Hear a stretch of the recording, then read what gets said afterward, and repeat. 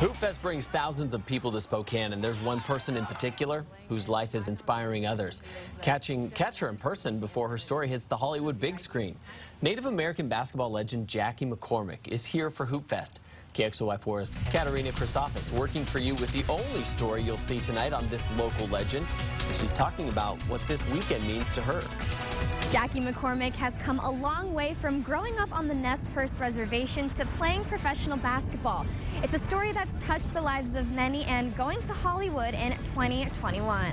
Basketball has given me every opportunity that I could ever have dreamed about. The court has been Jackie McCormick's happy place ever since she was a little girl. My parents, um, you know, both played sports and I was raised around basketball and just developed a love and a passion for the game. McCormick grew up on the Nez Perce Reservation near Lapwai. Like many kids, she had her fair share of struggles. So I struggled socially, academically, um, and the only place that I found peace at Lake Oswego was on the basketball court. It's that piece that led her to pursue the pressure of college basketball at Illinois State. When I went to college, I always told myself that I wanted to be somebody that kids could look up to and that I could give back in any capacity that I could. With the help of her friend Brad Myers, her organization Rise Above was born.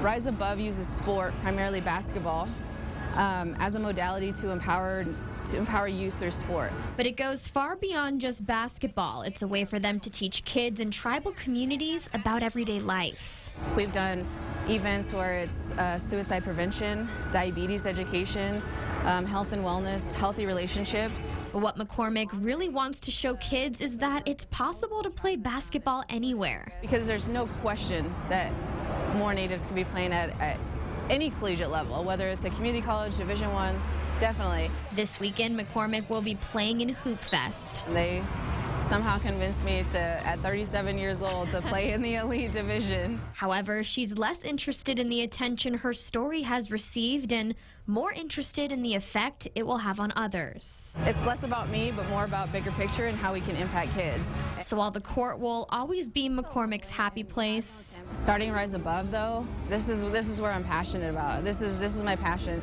There's nothing that makes her happier than sharing that passion with others. McCormick will be playing her first Hoop Fest game on Saturday, and if you want to catch her play, she will be playing at the Hupkins sponsored court at 10:30 in the morning.